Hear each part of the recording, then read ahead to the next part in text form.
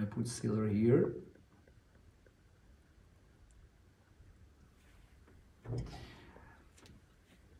I made, um, I will give you tip. If you have canals in one root and they're close to each other like these two, you may have anatomy like isthmus or um, anastomosis between these root canals, maybe in the middle third, maybe in an apical third, maybe in the coronal third. We don't know it. We, we can expect that it may be there.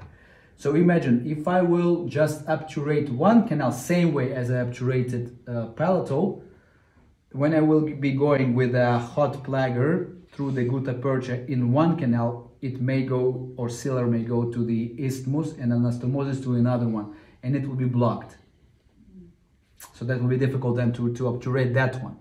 So what we can do, we can, in this case, we can uh, do something like that. So look, I will keep this gutta percha cone in uh, one canal. Then I take plugger and I will be not obturating now. I will cut the tip of the gutta percha, just leaving the rest of gutta percha in canal. So I will try to do it. If I will be able or not, we will see.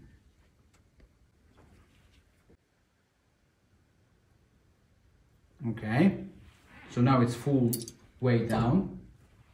Then I take uh, hot plugger, and then I will, then I will obturate MB2 here.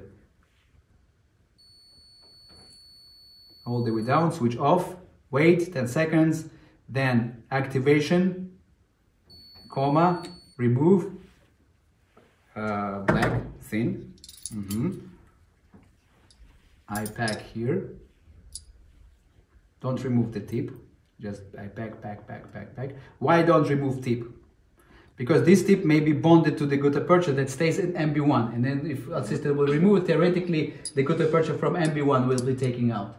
You get it or not? Mm-hmm. Keep these two canals filled completely. Do you randomly start with MB2?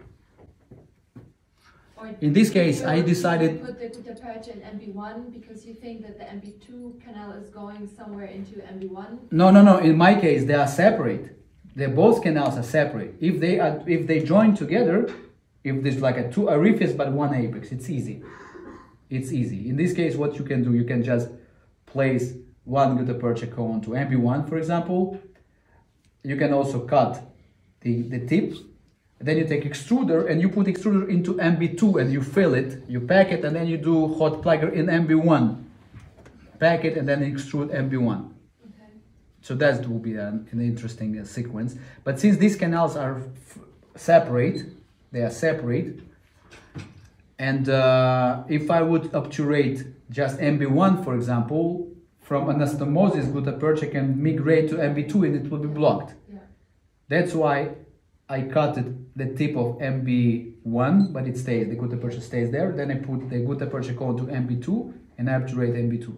But you could also start it the other way. I can, yes, yeah, yeah, it doesn't matter, doesn't matter. You, I started with one which will be easy for me to cut in the beginning.